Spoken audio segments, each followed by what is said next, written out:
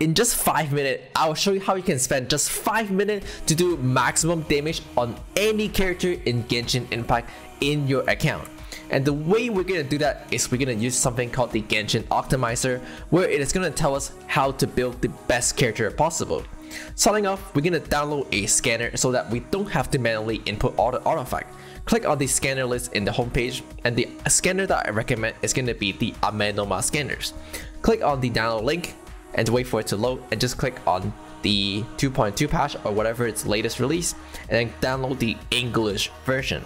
In your Genshin Impact page, open your inventory and head to the artifact menu. Ensure that you're at the very top of the page, and then you want to open up the Amenoma tool.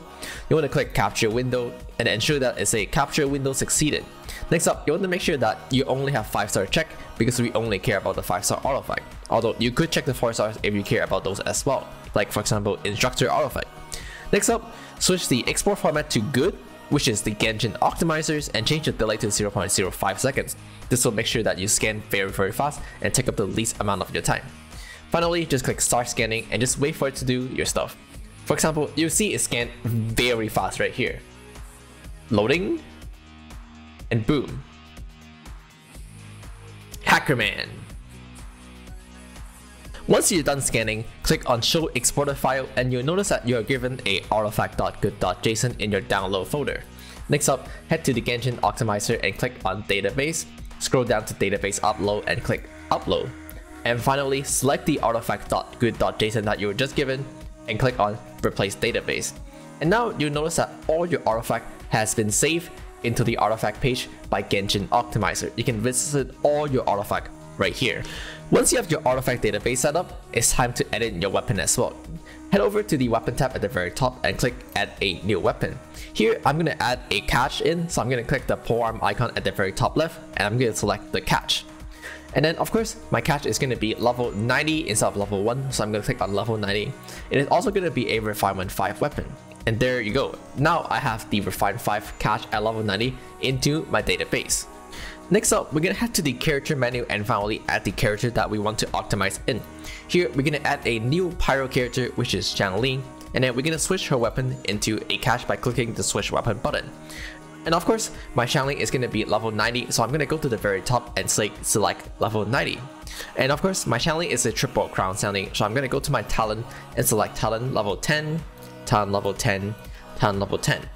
I'm going to scroll down a little bit into the constellation level, and here you'll see that I can select the number of constellation I have. In this case, I have a constellation 6 Xiangling, so I'm going to select constellation 6. Repeating the same process, I added in my Chao, my Kaze, and Bennett, and now we're ready to draft our international team.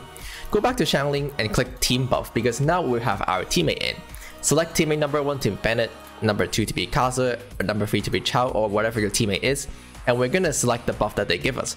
For example, on Bennett, we have the Elemental Burst buff, Fantastic Voyage, while on Kaze, we swirl a Pyro reaction and therefore we are able to grant Pyro damage bonus. And of course, on Chao, we have the normal attack damage buff right here, as you can see.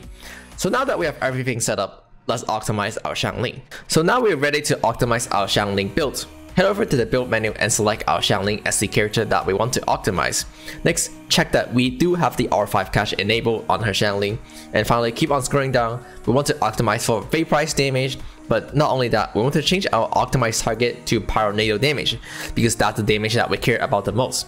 And finally, just hit generate and wait for it to load. It will load very very quickly. Once it generated all the build, it'll list out the build that have the highest damage for your characters. For example, let's start with the number 1, where it used a 4-piece emblem set and the Crimson Witch of Flame Circlet. Simply head back into the game and equip those artifacts onto your characters, and now your character will be able to do maximum damage. Head back to the Genshin optimizer page where it shows you your artifact build. You want to click on equip artifact to make sure that the database know that you have these artifacts equipped on your Xiangling. So now you'll be able to move on to the next character and do the optimization again. So now we can do it for our child as well and eventually we can have a very very good team. In just 5 minutes you have learned how to spend 5 minutes of your time to do the maximum damage you can do on any of your characters. So if this video helps you out, don't forget to like, comment, subscribe and most importantly share with your friends so they can also do maximize damage and as always I'll see you guys all next time.